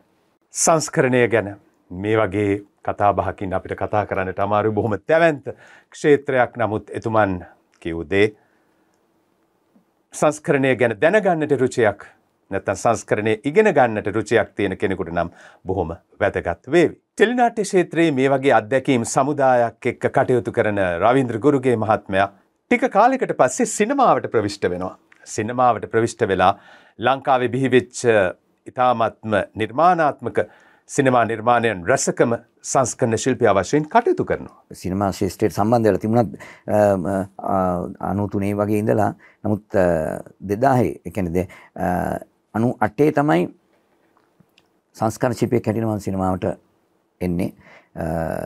ඒ එන්නේ ඇත්තටම එතකොට ලංකාවේ සිනමාව තිබුණේ අර පරණ ක්‍රමයට සංස්කරණය කරන්න ඒ කියන්නේ පටලපටිය කපලා අලවලා ඒ මැෂින් එකේ. ඒ වෙනකොට ලෝකේ 93 මේ ඩිජිටල් සංස්කරණය ඇවිල්ලා තිබුණා හොලිවුඩ් වල. ඒක 97 වෙනකොට ඉන්දියාවට ආවා. ඒ කියන්නේ රූපය අපි පටලපටිය සංස්කරණය මේ කපනවා වෙනුවට පටලපටිය ස්කෑන් කරලා ඒක ඩිජිටල් පිටපතක් විදිහට අරගෙන ඒක හරහා කම්පියුටර් තාක්ෂණය පාවිච්චි කරන සංස්කරණය කරන එක. ඒක ලංකාවේ පාවිච්චි කිරීම නෑ. එතකොට මම ඒක හදාරලා ඒක ලංකාවේ 2000 ලංකාවට ඒක ස්ථාපිත කරේ ඒක අඳුල්ලා දුන්නේ මම ඒක මේ ටීවිටි ආයතනය මගේ ආයතනයෙන් මම තමයි ඒක මූලික වුණේ දෙදාහේ කැන අනුවට වෙනකට ඉන්දියාවට ආව අපිට දෙදා වෙනකොට ලංකාවේ නොන්ලීනි එඩිටිං කියන එක ඩිජිටල් සංස්කරණය සිනමාවට හඳුල දෙන්න පුළුවන් වුණා. ඒක මං හිතනවා මගේ ලොකු ජයග්‍රහණයක් ඒ කාලේ මොකද ඒ හරහා තමයි මම සංස්කරණයට එන්නේ. ඇතන මට ගොඩක් අය අනු ආචාර්ය පීරිස් එමත් 95 විතර ඉඳලා මාත් එක්ක කියලා වසන්ත බේසේකර මහත්මයා මට නිතරම කීප එකක් එතන හඳගම ජයන්තලා එහෙම ගොඩක් මට ප්‍රෙෂර් කරා මේ ෆිල්ම් වලට එඩිටිං වලට එන්න කියලා මට අර පරණ මේ මැසින් එක අරගෙන එක ටිකක් කප කප කරන දේ ටිකක් දිරෙව්වේ නෑ. ඩිජිටලින් පුරුදු වෙලා තිබුණේ මේ ඇනලොග් සිස්ටම් එක උනාට මේ එඩිටිං මට උරුනේ ඇත්තටම ඒ ටෙක්නොලොජි එකත් එක්කම මේ සිනමාවට එනවා ඇරෙන්න නිකන් අර පරණ තැනින් පටන් ගන්න නෙමෙයි. හැබැයි ටෙලිනාට්‍ය කරේ මේ ඩිජිටල් ක්‍රමවේදය අනුව. ඔව් ඩිජිටල් කියන්නේ ඒතර ඇනලොග් තිබුණේ අර ටේප් පටියෙන් මාරු කරලා හැබැයි ඒක තමයි ඒක ලේසි. ලේසි. ඒකට පුරුදු වෙච්ච නිසා අතෙන්ට යන නිකන් පිටිපස්සට ගිය ගමනක් වගේ. ඒ වෙනකොට ලෝකයේ ඇවිල්ලා තිබුණා මෙතෙන්ට. ඉතින් මට පුළුවන් වුණා ඒක ඒ සිනමාවට මේ අලුත් ප්‍රවේශය අර දැනුමත් එක්ක තවත් ඉදිරියට. ඉදිරියට යන්න. ඒකම ඩිජිටල් හඬපට හදන්න. කියන්නේ දැන් ඩිජිටල් එතකොට තිබුණේ ඇනලොග් හඬපට. කියන්නේ ඔප්ටිකල් ට්‍රැක් එකේ චිත්‍රපටි වල හඬපට පහකට වැඩිය ගෙනියන්න බෑ. පහක් හයකට වැඩිය. මේකේ අපිට හඬපට 100ක් 200ක් 600ක් 800ක් වුණත් ගෙනියන්න පුළුවන් ඒ තරම් දියුණු තාක්ෂණයක් තිබුණේ. ඉතින් ඒක හඳුන්ලා දෙන්නේ ඕකත් එක්කම 2000 එන ඒකත් එක්ක තමයි මම සිනමාවට එන්නේ. ඉතින් ඒ සිනමාව ඇතුළේ මට ඔය හම අධ්‍යක්ෂකරෙක් එක්ක වැඩ කරන්න හම්බුණා. වසන්ත බේසේකර ආචාර්ය පීරිස් සුමිත්‍රා පීරිස් ජයන් චන්සිරි හඳගම ජැක්සන් ඔය සියලු දෙනාම එක්ක. මොකද ඒ අපේ කණ්ඩායම අපේ වයසේ. ඒතර අපිට ඒ ඒක හරහා අලුත් සිනමාවක් ගොඩනගන්න පුළුවන් වුණා. මේ වෙනකොට මම චිත්‍රපට 100කට අධික සංඛ්‍යාවක සංස්කරණ ශිල්පියෙක් විදියට වැඩ කරලා තියෙනවා. මට චිත්‍රපට සඳහාම සම්මාන 35ක් විතර හම්බෙලා තියෙනවා. හොඳම සංස්කරණ ශිල්පිය වශයෙන් හැටියෙන්. මේ ජනාධිපති සම්මාන සරසවි සම්මාන OCIC සම්මාන. මේ වගේ හැම සම්මාන. උළෙලකදීම ඔව්. ඉතින් මං හිතනවා ඒකට මූලික හේතුව මං හිතන්නේ ඒ වෙනුවෙන් තියෙන කැපවීම ඒ වෙනුවෙන් හැමදාම දිනෙන් දින යවත්කාලීන වීම අ, තාක්ෂණය පිළිබඳ නිර්මාණ පිළිබඳ ලෝක අනිත් නිර්මාණ පිළිබඳ කියවීම මං හිතනවා ඒ වගේම අධ්‍යක්ෂකවරයාත් විශේෂයෙන් අධ්‍යක්ෂකවරයාව තේරුම් ගැනීම ඔහුගේ පිටපත හරහා ඔහුව දකින්න පුළුවන් වීම මෙන්න මේවා තමයි මම හිතන්නේ ඒකට පිටිපස්සේ තියෙන්නේ Beat the glare with shades that truly care for your eyes at Vision Care. චිත්‍රපටි නිර්මාණකරණයේදී අංකුර සිනමාකරුවෙකුට තමුන්ගේ මංගල සිනමා නිර්මාණයේදී ප්‍රවීණතම සංස්කරණ ශිල්පියෙක්ගේ සහයෝගය ඔබ වැනි කෙනෙක්ගෙන් ලබා ගන්න අවස්ථාවක් ලැබෙනවා නම් ඒක නිර්මාණයට විශාල පහසුවක් නේද? අංකුර සිනමාකරුවෙක් කියන්නේ විශේෂයෙන්ම ඔහු මේ අනිත් ශ්‍රේෂ්ඨ ඒ කියන්නේ ඔහුත් එක්ක ඉන්න ටෙක්නිකල් කණ්ඩායම පිළිබඳව ඔහුට වඩා අත්දැකීම් තියෙන කට්ටිය ගත්තොත් ඒක වඩා හොඳයි. එක අනිවාර්යයි. මොකද විශේෂයෙන් කැමරා ශිල්පියා, සංස්කරණ ශිල්පියා, අනිත් කලා අධ්‍යක්ෂකවරයා වගේ අය මොකද ඒ ඔවුන්ගේ කියවීම Tamanට එකතු කරගන්න පුළුවන් නම් ඒක තමයි වඩා හොඳ. මොකද මේ ලෝකයේ පිළිබඳ මේ කියන්නේ ජීවිතය පිළිබඳ අධ්‍යයනය නෙමෙයි තියෙන්නේ. ඒ කියන්නේ මේ චිත්‍රපටයක් කියලා මේ තියෙන ඩයලොග් ටිකක් සංස්කරණය කරන එකවත් ඒක ඡායාරූපයට ගත කරන නෙමෙයි තියෙන අත්දැකීම් තියෙන ඡායාරූප ශිල්පියෙක් ගත්තම ඔහු ඒකට එක්කව කරන ඔහුගේ දැනුම ඔහු ඔහුගේ ඔහු කොහොමද ඒක මේ අවබෝධ කරගෙන තියෙන්නේ කියන එක. ඒක හරි ඒ අත්දැකීම හරි වැදගත් වෙනවා ඒ රූප පෙළට. මොකද ඒක සංස්කරණ මිදිරටම සංස්කරණ ශිල්පියාගේ අත්දැකීම කොහොමද එකත් එක්ක යන්නේ. ඔහු ඒක ඔහුගේ කියවීම, ඔහු මේ රූපහරහා දකින දේ. ඒක හරි වැදගත් වෙනවා නිර්මාණයකට. ඉතින් නිතරම ඒක මං හිතන්නේ මේ වටිනවා අලුත් නිර්මාණකරුවෙකුට ඔහු අඩු ගානේ ඒ ශිල්පීන් එක්ක පාවිච්චි නොකරත් ඔවුන් කතා නොකරත් ඔවුන් එක්ක ගනුදෙනු කරන සාකච්ඡා කරලා ඔවුන්ගේ තියෙන අදහසේ පිටපත දිහා බලලා ඔවුන්ට පෙනෙන ආකාරය දකින ආකාරය ගත්තොත් ඒක මං හිතන්නේ ලොකු වටිනාකමක් එක්ක අහු වෙනවා කියලා. මෙවර දෙරණ ලක් සිනමා සම්මානවලදී ඔබට වසරේ විශිෂ්ටතම සංස්කරණ ශිල්පියාට හිමි සම්මානය ලැබුණා. අල්බොරාදා අල්බොරාදා ඒක අශෝකාන්දගමගේ එක්දස්සන් සිල්සී ගණන් වල හිටපු චිලි කොන්සල් ජනරුවරෙක් හිටියා. ඔහුගේ නම පැබලෝ නිරුදා. නිරුදා ඔහු කවියෙක්. ඔහු ලියපු එකන ඔහුගේ ලංකාවෙච් අත්දැකීමක් හරහා ගොඩනැගෙන විශිෂ්ට කෘතියක් ඒක. හැබැයි ජාත්‍යන්ත්‍ර චිත්‍රපට උළෙලවල් සහ ජාත්‍යන්තර ප්‍රදර්ශනදී ගොඩක් සාකච්ඡාවට භාජනය වෙච්ච චිත්‍රපටයක් ඒක. ඒකෙත් ඇත්තටම අර මං කියන මොනවා හැඟීම් හරහා. කියන ඔහු කවියෙක්. ඒ කවි කවියෙකුගේ තියෙන සිතුවිලි සහ ඔහු මේ මේවා දිහා බලන්නේ කාන්තාව දිහා බලන්නේ යන්නේ ඒ තියෙන සිතුවිලි කොහොමද ගොඩනගන්නේ කියන එක. ඒක මොකද වචන වලින් කියන්න බෑ. ඒක රූපය හරහා තමයි sannivedana වෙන්න ඕන. ඒකට ඒක අපි ඒ රූපය ගොඩනගෙන එක හරි ප්‍රවේශමෙන් කරන්න ඕන. ඉතින් මං හිතනවා ඒකට යම්කිසි සාධාරණයක් මගේ අතින් වුණා කියලා. ඒක දැනෙන්නේ නැති විනිශ්චය මණ්ඩලයට. සහ ඒ චරිත පිළිබඳ ජාත්‍යන්තර මම දැක්ක ළඟදි ලියලා තිබුණා මේ මම හිතන්නේ ස්පැනිෂ් භාෂාවෙන් ලියපු ආටිකල් එකක් ට්‍රාන්ස්ලේට් කරලා තිබුණා ඉංග්‍රීසි භාෂාවට ලංකා පත්තරයක. ඉතින් ඒක කියවුවාම තේරෙනවා අපි අපි අපිට දැනිච්ච මට දැනිච්ච සිතුවිලි නිර්මාණය ගොඩනගනකොට ඒවට ඒවා දැනිලා තියෙනවා කට්ටිය. කියන්නේ මම අර රූපාරහා මට දැනිච්ච දේ එයාට sannivedana වෙලා තියෙනවා. මේ දිනවලත් ඔබ එක දිගටම චිත්‍රපටි ගණනාවක සංස්කරණ ශිල්පියා වශයෙන් කටයුතු කරනවා මේ TVT ආයතනයේ. මේ මොහොත වෙනකොට අපේ තරුණ සිනමාකරුවෙක් ඒ කියන්නේ මේ තුන්වෙනි පරම්පරාව සිනමාකරුවෙක් එකම වැඩ කරා. මේ පිටිපස්සේ තියෙන රූපේ තියෙන එක සිහින නෙළුම් මල් කියලා.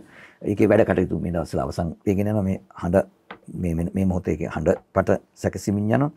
ඒකම ඉස්සරහට එන්න තියෙන චිත්‍රපටි කීපයක් තියෙනවා. ජයන් චන්සිරිගේ අලුත් චිත්‍රපටියක්. ඒතකොට හඳගමගේ පරටුන් රියල්ලගේ එතකොට ඒ වගේ චිත්‍රපටි හයක් වගේ මාත් එක්ක දැන් ඉදිරි වැඩ කටයුතු කරන්න යන කාර්ය බහුල කාලයක් වුණායි කොරෝනා වලින් පස්සේ TVT ආයතනය මේ TVT ආයතනය ශ්‍රී ලංකාවේ ටෙලිනාට්‍ය වංශ කතාවේ ඉදිරියෙන්ම සටහන් වෙන නමක්. මේ ආයතනයේ ආරම්භය කොයි විදිහටද සිදු වුණේ? අතර මේ ටීවී ආයතනය පටන් ගන්නේ 1992 නොවැම්බර් මාසේ වගේ 93 තමයි අපි විවෘත කරන්නේ. මේකේ මූලිකත්වය ගත්තේ පරාක්‍රම නිරියල්ල ආචාර්ය සුනිල් නවරත්න එකම මමත් එකම ආනන්ද අබේනායක අපි හතර දෙනා තමයි පටන් ගත්තේ. මොකද 93 වෙනකොට ලංකාවේ ගැන සිනම රූපායනි මාධ්‍යෙත් ඩිජිටල් වලට එන්න ලෝකෙම හැඩගැහිච්ච කාලෙක. එතකොට අපිට ඕනුණා ඇත්තම ගුණාත්මක හොඳ මේ වැඩසටහන් ටෙලිනාට්‍ය කරන්න සහ ඒ කරන එලි බාහිර ඉන්න අයට අවස්ථාව දෙන්න. මොකද හේතුව ඒ වෙනකොට ආයතන කීපයක් තිබුණත් ඒ තරුණ පරම්පරාවේ ඒ කාලේ තරුණයින්ට නිදාසේ වැඩ කරන්න එහෙම ආයතන තිබෙන්නේ නැහැ. ඒ නිසා අපි අපිත් එහෙම නිදහසේ වැඩ කරපු මිනිස්සු නිසා සහ අපිටත් එහෙම බාධක ගොඩක් මැද්දේ ආපු ගමනක් නිසා අපි හිතුවා මේ වගේ ආයතනයක් පටන් ගන්න කියලා. ඒකේ මූලිකත්වය ගත්තා එතන ඉස්සෙල්ලා පරාක්‍රම නිරියල්ල. ඊට පස්සේ ආචාර්ය සුනිල් රත්න ඔහු උතුරු ජපානයේ හිටියේ. ඔහු තමයි මේකේ මූලික සංකල්පය මේ ගෙනාවේ කියන්නේ මේ ඔයාලා නිකන් ඉන්න එපා අපි කවුල වැඩක් කරමු කියලා ඔහු උතුරු ජපානයේ මේ මේ ආචාර්ය උපාධිය ආධාරමින් හිටියේ. අපිට ජපානයේදී හම්බෙන්නේ අපි පරාක්‍රමයි කබුකි පරක්ටම කර කබුකි වාර්තා වැඩසටහන් වගේ එකට මට මාව සම්බන්ධ කරන මාත් එකට වැඩසටහන් වලට ගියා. ඉතින් එතෙන්දී අපි ගොඩනගාගත්ත මේකුඩ තමයි අනුතුනේ මේක පටන් ගත්තේ. ඇත්තටම අනුතුනේ පටන් ගන්නකොට අපිට සෑහෙන මේ බාහිරින් උදව් ගොඩක් හම්බුණා ආචාර්ය පීරිස් වසන්ත බේසිය කරනවා එයාත් අපිත් එක්ක එහෙමම මොකද අපිට ලොකු ආශිර්වාදයක් වුණා. ඔවුන් අපිත් එක්ක මූලික වුණා මේ වැඩේ පටන් ගන්න දායක වුණා අපිට. ඉතින් අපි හතර දෙනා පටන්ගෙන අලුත් තරුණ පරම්පරාවක් අපි හැදුවා. අද ඇත්තටම ලංකාවේ හරි සතුටුයි. ලංකාවේ ගොඩක් නාලිකා බැලුවත් ලංකාවේ අලුත් පරම්පරාවේ නිර්මාණ ශිල්පින් බැලුවත් ටීවී ආයතනය හරහා බිහි වෙච්ච ලොකු කණ්ඩායමක් ඉන්නවා. ඉතින් මම හිතනවා ඒක අපි අතින් වෙච්ච ලොකු සේවයක් කියලා. ඒකම සිනමාව දෙදාහේදී අලුත් තාක්ෂණයට ගේන්න අපිට පුළුවන් වුණා ටීවිට ඇතන හැටියට ඉනිසා අපි ඓතිහාසික කාර්යභාරයක් අප අතින් ඉෂ්ට වුණා කියනක ගැන සතුටුවෙන්. සංස්කරණ ශිල්පියකුට රැයක් දවාලක් නෑ කියල කතාවක් අපි අහලා තියෙනවා. ඔවු එක හරි. මොකද හේතුව එක වෙලාවක් නෑමකොද සමන්ටම ගෙඩිටින් වලට වාඩි වුණාම සමරදස්සවට ඇත්තනවා එක සෙට්ට නැත ඉතින් නැගිටලන හැබැයි වැඩ කරන්න පටන්ගත්තාම සමට රෑදුලා දෙකද ඉරවස්සෙන්ද උදේ මට තියන්නේ එක මගේ පෞද්ගලික අධ්‍යම කෙන සමට උදේ හය පහට විතර හැරනවා මොක්කරි මතක් වෙලා. ස් ආපු ගමන් ටේබල එක වාඩිලා මගේ සිස්ටන ටක් ගලන කිවල මට පොඩි අයිඩියක්කාව කියල එක වෙනස් කල බලන්න ට ඩිරෙක්ට කතා කල බලන එකම චේච් කර. බලන්න ඉනිම වසන්ත බෙසිකරගේ හරි උද්දාමයට පත්තල සතුට වැඩිකට පිට ගහම ඇගලි පහම පිටේ තින සට වසන්තය බේසේ කර එච්චට ඔහු සතුටට පත්වන සමරලාට වගේ දේවල්. දැවන්ත මනුස්සේ ඕ වෙනස් කරම හරි සතුටුවෙන කෙනෙක් ඔහු. ඉතින් ඒ නිර්මාණයට ඒවයින් කොච්චර එකතු වනාද කියෙන කියන දැන් කැනුම් එඩිට පටන්ගත්තම කිවරෙනකම් තර එකත් එක තම ජීවත්තෙන් ගැන කොහේ ගියන් ගෙදර ගියත් පාටියකට ගියත් වෙඩින්නේකට ගියත්. අරවා එන්න පටන් ගන්න. ඉතින් ඒවා ටක් ගාලා පොඩිව නෝට් කරගෙන ඇවිල්ලා ආයි ඒකත් එක්ක පොඩ්ඩක් එක්ස්පෙරිමන්ට් එකක් කරලා බලනවා. මම ඒකයි කිව්වර ඒ ඒ ඒ රූප දැක්කම එන සිතුවිලි එක ගණදෙනු කරන්න ඕන. ඒක මට මගේ තිය මම ඒක එක එක සංස්කරණ ශිල්පය අනුව වෙනස් වෙන ඉඩ තියෙනවා. කියන්නේ ඒක ඒක මේ සිද්ධාන්තයක් නෙමෙයි. නමුත් ඒක අනිවාර්යයි. කියන්නේ ඒ සිතුවිලි වලට ඉඩ දෙන්න ඕනේ රූප හරහා එන. ඒක එහෙම උනේ නැත්තම් ඔව් හොඳ සංස්කරණ ශිල්පියෙ නෙමෙයි. ඒවා අනිවාර්යයෙන්ම තියෙන්න ඕනේ. හැබැයි ඒවත් එක්ක කොච්චර ගණදෙනු කරනවද කියනකොට තමයි නිර්මාණය තියෙන සාර්ථකත්වයට බලපානවා එක. චිත්‍රපටිහු ටෙලිනාට්‍ය සංස්කරණය මේ දේ කරගෙන යද්දී ඔබ දකිනදේ සමහර විට අධ්‍යක්ෂකවරයාට රුචි නොවන්නට පුළුවන් මත ගැටුම් ඇතිවන්නට පුළුවන්. මෙහෙම සිදුවෙච්ච අවස්ථා එහෙම තියෙනවද? ඇතන එහෙම තැන් ගොඩක් මත ගැටුම් නැතිවුණ තැම මත ගැටුම් නැත්තේ නෑ. මොකද ඒක ඕන නිර්මාණක තියන හැබේ ගොඩක් දුරට අපි මේ වන මට මතක එක සරක්ව වසන්තෝ බේසිකරම්ගේ චිත්‍රපටයක එක දර්ශනයක් මම ගැලව්වාම ඇවිල්ලා කෑ ගැව්වා මත්කිව මාත් කෑ ගැව්වා ඉට පස්සේ කිව මේක මට ඕනක මං එපර දැම් හැම මං කිව්වයි මේක ගැලවන්න හේතු මම දැක්වා ගොන දල් තිබ හැබැයි ඉට පස්සෙන්ද උදේ තුනට විතර මට නො කෝල්ල මජම්බ නිදිද? මංකො නිදි නැති කතා කරන්න මේ මේ අරුඹ ගලෝපිකයි ගලෝපා. මට තේරනවා එක මට නිදගේත් නෑමචා ඒක හරිබ කියප එක කිය එතන මංහිතන මගේ ටෝන් මගේ එඩිත් කනකට මගේ ටෝන් එක වැඩි වෙලා හිද යට කෙදි කර නැත් මට ඕන කියලා නමුත් ගෙදර ගිහිල්ලා කල්පනා කළා මං අර ඇයි ඒක මං ගලවන්න කියලා මගේ හේතු මං දැක්කුවාම ඒ ටික මතක් වුණාමයි උදේ පාන්දර ගිහුවා නෑ උඹ හරිම ගලවපන් සීන් එක කියලා. ඉතින් ඒ වගේ සුන්දර තැන් තිබුණා ඇරෙන්න ලොකු ගැට කියන්නේ මත ගැටුම් වලට ගිහලා අපි වැඩ නවත්තලා නෑ. හැබැයි ආගියමන්ස් ගිහිලා තියෙනවා කියන සමහරට මං කියන එක පිළිගන්න ඔහු කියන එක සමහරට මං පිළි නොගත්තත් මං සමහර ඒවා දාලා තියෙනවා. ඉතින් එකම දේ මං දකපු එකක් තමයි දැන් ඔය එහෙම නිකන් ඒක වසන්තගේ මිස්ටර් වසන්ත බේසිකරන්ගේ සහ ආචාර්ය පීරිස්ගේ අපි රූප වෙනස් කරනකොට ඒකට හේතු දක්වන්න ඕනේ. එහෙම නැතුව නිකන් මේ මට ආසෙන්නේ නැහැ ඔක හරි නෑ කම්ම කැතයි කියලා එහෙම බෑ. ඒක එතෙන්ට ගැලපෙන්නේ සෑහීමකට පත් වෙන්නට ඕන. ඔව්. ඒක අධ්‍යක්ෂ සංස්කරණ ශිල්පියන්ට පුළුවන්කම තියෙනවා ඒක සංනිවේදනය කරන්න. එහෙම වුණොත් මම හිතනවා ඒ ගැටීම් මට ගොඩක් වෙනාට එහෙම ඇවිල්ලා නැහැ. කියන්නේ මත ගැටීම් ගොඩක්ම ඇවිල්ලාම නැහැ වගේ. ටිකක් ඔය වගේ පොඩි පොඩි තැන් කීපයක් ඇරෙන්න. මට මතකයි ටයිටස් තොටවත්තන් එක පළවෙනි වාර්තා වැඩසටහන කරනකොට දැන් ඔහුට පුරුදු හරි ඔහු හරි කඩිසරයිනේ. අර මැෂින් එකේ අර අතින් අරන් ටේප් මෙහෙම කපලා අලවන එකනේ හරි ලේසිනේ. දැන් මේක ඇවිල්ලා වාඩි වුණා මාත් එක්ක පළවෙනි පළවෙනි එක වෙන්න හිතන්නේ විදුලිය බලය කියලා වාර්තා වැඩසටහනක් කරා. 82 දැන් මගෙත් මම ඔහුගේ රෙකෝඩිස්ට් හැටියට මුළු ලොකේෂන් එකේම ගියා. ඉතින් මම තමයි එඩිටර් මොකද ඇත්තටම එනකොට වෙන කෙනෙක් එඩිටර් එඩිටර්ස්ලා හැංගෙනවා යා එනකොට. පස්සේ මටම වුණා ඒක එඩිට් කරන්න. හොඳ දේවල් අහගන්න පුළුවන් කියන්න තාම හොඳ දෙයක්. ඉතින් ඒක අර පරණ මැෂින් එකේ තියෙන්නේ ෂොට් එක කිව් කරලා අපි ඉන් පොයින්ට් එක දීලා ඊළාසේ එඩිට් එක ඕන තැනට ඉන් පොයින්ට් එක දුන්නා මේක මෙහෙම යනවා පිටිපස්සට ටේප් දෙක. හරි? හරියට තප්පර 10ක් ගිහිල්ලා ආයෙ තප්පර 10 ඇවිල්ලා තමයි එඩිට් එක එන්නේ. ටිකක් කියලා බලන් හිටියා. මොකද්ද මම මේ මයි යක් උඹ නෙවෙයි ඔළුව මූණේ ඔළුව. උඹ මෙහෙම ගාලා බම්බ බලන් ඉන්න ඌ යනවා පිටිපස්සට ඌ ආයෙනවා ආයෙ මොකද්ද මේ? බෝග මේ ආ, මේ හමන්නල තියපන් මං එන්නම් හවස කියලා කිව්වා. ඊට පස්සේ හවස එනකොටත් මගේ අතින් විනාඩියක්වත් එඩිට් වෙලා නැහැ. මොකද එඩිට් කරන්න බෑ ඒක ස්පීඩ් එක. දැන් මට බෑන්න බෑන්න යකෝ මේ මේක එඩිට් කරලා ඉවර කොක්කු බුදු බඳින බඳිනෝනේ මේක එඩිට් කරලා ඉවරනකොට මේ කවද මේ වෙන්න? මම මං කිව්වා කලබල වෙන්න මම සති 3 4 කියලා ඊට පස්සේ හැමදාම එනවා. බනිනෝ යනවා. ඒ එනකොට විනාඩි දෙකයි තියෙන්නේ. එඩිට් වෙලා. ඒ කියන්නේ ඊට වඩා ස්පීඩ් යන්න බෑ ඒක මුල් කාලේ. ඉතින් හැබැයි ඉතින් වැඩේ ඉවරනාම ඉතින් ඊට පස්සේ මත් එක ඉතාලම සම්බන්ධ වෙලා කියන්නේ ජීවිත කාලේ හු අවසාන කාලේ නම් මම ඉතාම සුන්දර මනුස්සෙක්. මනුස්සෙක්. මං ගොඩක් දේවල් ඉගෙන ගත්තා. ඊට පස්සේ ගෙනිලා වාඩි කරගෙන ළමයෙකුට වගේ කියා දෙනවා සමහරව. ඇහුවාම මේ මට ඇත්තටම මේ අත්දැකීම හරි වටිනවා. ඒක මං හිතන්නේ ජීවිතේ. මොකද මේ අත්දැකීම හරහා දරා ගැනීම. දැන් ඔහු ගැල්ල කෑ ගන්නකොට බය වෙනවනේ. හැබැයි මට ඒක දරා ගන්න පුළුවන් හැබැයි ඒ වගේම තමයි ආයෙ හවසට එකයි යනවා ඉතින්. හොඳට මදු විත එහෙම ගන්න ඕනේ ඉතින්. මට පුරුදුන් තෙන එහෙම පුරුදු කරේ නෑ. හැබැයි ඒ වෙනකොට පොඩ්ඩක් බිවි හිටියා. හැබැයි උත් එක්ක දිගටම ඉතින් ඒක කරන්න උනා ඒ කාලේ. හැලෙන්න බෑ මට. බෑ බෑ. ඊට පස්සේ අර පුබුදු එකට එකයි යනවා හැමදාම. අන්දාව. පුබුදු එකත් නෙවෙයි අතන මේ මේකට මොකද්ද මේ? රන්දෝලි? රන්දෝලිය. මට රන්දෝලියදී ගොඩක් අය හම්බුනේ ටයි ටයිටස් තොටුවත් යන එක තමයි මේ කියන්නේ මාව එක්කන් ගියා ගිහලා ඉස්සලා වඳුලා දුන්නා.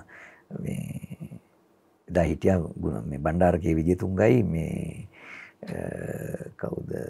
මේ ප්‍රේමකීර්ති ඒතකොට ප්‍රේම මට හම්බෙලා තිබුණා. ඊට ඉස්සෙල්ලා මේ කිව්වා මෙන්න මූ තමයි මගේ අලුත් මේ මොකද්ද ගෝලයා කියලා. මේ කියලා හඳුන්වලා දීලා ඊට පස්සේ අපිට අර පොඩි ඩ්‍රින්ක් එකක් ගත්තා. ඉතින් බයිට් එකක් කන්න ඕනේ නැත්නම් මේ බොන්න බෑ. පුරුදු නෑනේ ඒ කාලේ. එතකොට මොකද්ද? උඹ ඇඹරෙන්නේ. මං කිව්වා පොඩ්ඩක් මොනවා හරි ගන්න ආ වේටර් නන්න ගම මල්ලි අර ලීස් මුල් අඩුවෙන් අ, මස් වැඩි දාලා මූට ගෙනින් මස් එකක් කිව්වා. ඉතින් ඊට පස්සේ බොන්න දුන්නා. දැන් පළවෙනි එක කිව්වා. මං කිව්වා යන් අපි එඩිට් කරන්න? දැන් බුඩ අර නිල් පාට රතු පාට බටන් පේනවද? මං කෝ ආ එහෙනම් තව පොඩි එකක් දෙන්න කිව්වා. ඊට පස්සේ ඒක දුන්නා. දැන් ඉතින් බඩු මාත් ඊට පස්සේ ගෙනල්ලා බම්බල් පිටි හන්දියේ මාව බස්සලා ඔබ ගෙදර ඵලයන් දැන් ඕක කරන්න බෑ හෙට උදේ වරයි කිව්වා. හැබැයි ඒ ඒ ඒ ඒ ඒ ඒ සම්බන්ධ වීම ඒ ගණදෙනුවේ කතා කිරීම අ, ඒවා තන මං හිතනවා මං ගොඩක් දේවල් ගත්තේ කට්ටිය. විනෝද වෙන ම- ම- මදු විතක් ගන්න ගියත් ඒක ඇතුලේ කතා වෙන දේවල් ඒ වචන ඒ භාෂාව ඊට පස්සේ ලෝක සිනමාව ගැන ඒව ගැනත් ඒවා කතා වෙනවනේ. අපි නිකම් මේ ආවට ගියාට උපදුබ කතා කරලා නැහැ දැන් අ, වසන්ත දේශකත්වයත් මම මේ ඔහම අපි හැන්දාවට හම්බෙන ෆිල්ම් හරි ලොකු ලෝක සිනමාව ගැන චිත්‍රපටි ගැන ඊට පස්සේ මගේ අතින් වෙච්ච වැරදි ඊට පස්සේ වෙච්ච හොඳ දේවල් ඒවා ඉම්ප්‍රූව් කරගන්නේ කොහොමද? ඔය සියලු දේවල් අපි කතා වුණා. ඉතින් මම හිතනවා මේ ඒ අත්දැකීම් ගත්ත අත්දැකීම මට විශාල මගේ ජීවිතේ ලොකු ගොඩක් එයා තමයි මේ එයාගෙන් එයා නොදැන මම ගත්ත ගොඩක් දේවල්. ඉතින් ඒක තමයි අද මෙතන යම් කිසි තැනක මම ඉන්නවනේ ඒකට එයාට මම ගෞරව කරන්න ඕනේ. මාතර ගමේ ඉපදිච්ච රවීන්ද්‍ර ගුරුගේ පුංචි දරුවා. සෑහෙන තුරක් ජීවිතේ ගමන් කල්ලා අද ටිවිට ආයතනයේ සභාපති දූරය දරමින් ලංකාවේ බලාපොරොත්තු තැබිය හැකි නව නිර්මාණ රැසකටම අද දවසේත් සිය සංස්කරන ශිල්පී ඥානය ලබා දෙමින් ඒ කාර්යයේ නිරත වෙනවා. අනාගතයේ දිහා ඔබ දකින්නේ කොහොමද? මේ කර්මාන්තය අනාගතය ගත්තොත් ඇත්තටම ඒකේ අ, දක්ෂ කණ්ඩායමක් ඉන්නවා දැන්. ඒ කියන්නේ අපිට ඇත්තටම හොඳ ශිල්පීන් ඉන්නවා. ඒ කියන්නේ අපි ඉන්න කාලට වඩා අ, තරුණ අ, ඉන්නවා එකම දේ උන්ට තියෙන අවස්ථාව අඩුයි සහ මේ කර්මාන්තය තුල තියෙන අපහැදිලිකම නිසා ලංකාවේ උන්ට මතුවෙන්න තියෙන අවස්ථාව අඩුයි. දැන් අපි මතුවෙන අපි ඇත්තටම මේක ආවේ බොහොම මේ අපි විසින්ම පාර කපාගෙන යාවේ. වෙන තිබුණ හැබ දැන් තරුණට තින එකවාසයක් තමයි ජාත්‍යන්ත්‍ර මාධ්‍යත් එක්ක ජාත්‍යන්ත්‍රයෙන් ගන්න දින දින දැනුම ගන්න පුළුවන්. ගෙදරින්දවුණ අපිට එහෙම අවස් අවස්ථාව හම්බුන්නේ ඇත්තට දැන් YouTube එකට ගියාම ඕනතරම් ටියුටෝරියල් තියෙනවා. YouTube එකට ගියාම ඕනතරම් දේවල් බලන්න පුළුවන්. හැබැයි අපි මේක හොයාගෙන පස්සෙන් ගිහිල්ලා මේක ගත්තේ අද අයට ඒ වාසිය තියෙනවා. හැබැයි කොයිතරම් දුරට පාවිච්චි කරනවද කියන එකේ ප්‍රශ්නකුත් තියෙනවා. මේ ජංගම දුරකථනයකින් උනත් දැන් තමුන්ට ඕන දේවල් පටිගත කරලා අනිවාර්යයෙන්ම. එඩිට් කරගන්නත් පුළුවන් සංස්කරණය කරගන්න පුළුවන්. දැන් තියෙන ප්‍රශ්නේ මැෂින් වල නෙමෙයි දැන් තියෙන ප්‍රශ්නේ තියෙන්නේ කොච්චර නිර්මාණශීලීද කොච්චර දුරට හැඟීම් දැනෙනවද අන්න ඒවයි වර්ධනය කරගන්න ඕනේ නැතන් දැන් අපිට තමයි අපි කරන කාලේ තමයි අන්තිම අමාරුම කාලෙක අපි පාවිච්චි කරේ. කියන්නේ මේ එක විනා තප්පර දෙකක් එඩිට් කරන්න අපිට පැය දෙකක් බලන් ඉන්න වෙන සමහරට. තප්පර පහකින් දවසකට විනාඩි දෙකකට වැඩි සංස්කරණය කරන්න බෑ හොඳ ටෙලි නාට්‍යයක. මොකද එච්චර කාලය ගත්තා. කියන්නේ එපිසෝඩ් එකක් කරන්න අපි දවස් 5ක් විතර සංස්කරණය කරනවා. දැන් ඇවිල්ලා පැය 3කින් එපිසෝඩ් එකක් එඩිට් කරන්න පුළුවන්. හැබැයි අපේ කාලේ එකම දේ කාලේ තිබුණා හොඳ විනයක් තිබුණා අපිට. ඒ විනාඩි දෙක ආයි මැද්ද වෙනස් කරන්න ගියොත් ආයි මුලින් ඉඳලා එඩිට් කරන්න ඕනේ. ඒ කාලේ. එතකොට අපි හරිම තිතට හිතලා ප්ලෑන් කළා තමයි ඒ රූප ගොඩනගන්නේ. මොකද නැත්තම් ආයි මැද්ද මාරු කරන්න ගියොත් එහෙම ආයි එතන ඉඳලා එඩිට් කරන්න ඕනේ. ලෝ බෑන්ඩ් ටේප් වල. මොකද නැත්තම් ආයි ට්‍රාන්ස්ෆර් කරත් ක්වොලිටි ලොස් වෙනවා ලොකු ප්‍රශ්න තිබුණා. දැන් දූදරුවෝ කරන කාලේ. එතකොට අපි සාකච්ඡා කළා කතා කළා ප්ලෑන් කළා හරි වෙලාව අරගෙන වැඩේට බහින්නේ. ඉතින් දැන් එහෙම නෑ ඇත්තටම. දැන් මේක කරා මාරු කරා දැම්මා විනාඩි දෙකකින් වැඩ එක. ඒකම හොඳක් තියෙනවා ඒක හැබැයි නරකක් තියෙනවා.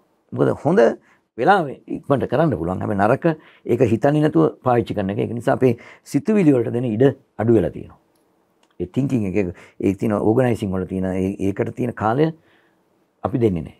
ඒක නිසාම නිර්මාණශීලී ගතිය මතුවෙන්නේ නැතුව නිකන් ටෙක්නොලොජි එක තාක්ෂණය මතුවෙලා තියෙනවා මේක තුල.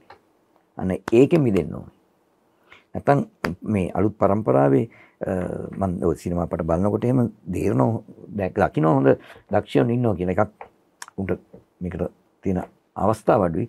අනිත් එක උන්ට අවස්ථාව දෙන්නෙත් නැහැ. කියන්නේ චිත්‍රපටයක් කරන ගමන් මාසය සති දෙකකින් ඉල්ලනවා මාසෙන් ඉල්ලනවා. එතකොට ඒ නිර්මාණයක් ගොඩනගලා ඉවර කරන්න බෑ. අනේ ඒ තියෙන වේගය අති දාවනකාරී විදිහට යන්නේ නැත්නම් හොඳ හොඳ මේ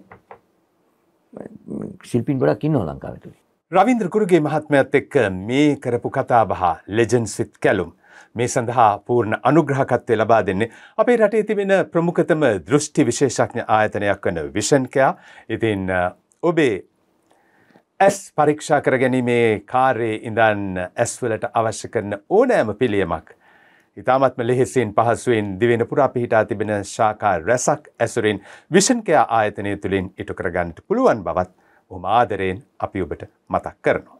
රවින්ද්‍රගුරුගේ මහත්මයාගේ TVT ආයතනයේ ප්‍රධාන සංස්කරණ මැදිරේ ඉඳගෙන තමයි අද මේ කතා බහ බොහොම නිස්කාන්සුවේ අපි කරගෙන ගියේ තාක්ෂණයේ අතින් ඉතාමත්ම ඉහළ උපකරණ රැසකින්ම පිරි මේ මැදිරියේ අද මේ කතා බහ සිදු කෙරුණා. ඉතින් සමුගන්නට ඉස්සෙල්ලා අපේ රටේ නම ජාත්‍යන්තරයට ගෙනගේ නිර්මාණ රැසකම ඔබ සංස්කරණ ශිල්පියා වශයෙන් කටයුතු කරා. අපේ රටේ නම ජාත්‍යන්තරයට අදත් ගෙන යන ආයතනයක් තමයි ස්පාසිලෝන ආයතනය. ඉතින් ස්පාසිලෝන ආයතනය ඔබතුමාට දෙන්න කියලා බොහොම වටිනා නිෂ්පාදන අඩංගු තෑගි පාසලයක් ලබලා දුන්නා. මේ වටිනා තිල්නේ බාර ගන්න. බොහොම ස්තුතියි ස්පාසිලෝන එකටත් ඒකම කැලුම් ඔබටත් මොකද කැලුම් කියන්නේ අවුරුදු 30ක විතර අපේ සම්බන්ධයක් තියෙනවා මම හිතන්නේ දූ දරුවෝ ඉඳලා. ඉතින් ස්තුතියි මට මේ අවස්ථාව ලබා දුන්නට. අද අපි මේ කතාබහ මතක් වෙන්න අලුත් පරපුරේ රේඛකෙක් රන්දික කඩවතාරච්චි. බොහොම අපූර්වට ලියන තරුණෙක්. ඔහු ලියපු පොත් තුනක් මම ඔබට අරන් ආවා. කියවනවද පොත්? කියවන්න. කැමතිනේ? මම ඉතාම කැමතියි. මගේ පුස්තකාලයක් තියෙනවා. මේ පොත් තුනම කියවන්න. ඔබේ පුස්තකාලයට මේ පොත් තුනත් එකතු වෙනවා නම් මම හරි කැමතියි. බොහොම ස්තුතියි කනෝ. රන්දික. ස්තුතියි රන්දිකටත්. මට මේ වගේ වටිනා පොත් කීපයක් ලබා දීම පිළිබඳ. ෂා තාම හොඳයි පොත්තුන කියවන් මහිතන ඔබ කැමතිවේ කියලා බොහොම අපූරු ලියමනක් ඔහුට තියෙන්නේ.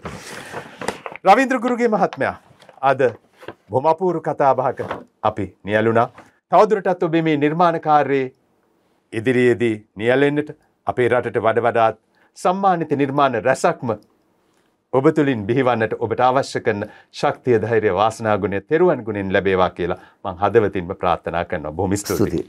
ආයිබෝවන්. Beat the glare with shades that truly care for your eyes at Vision Care.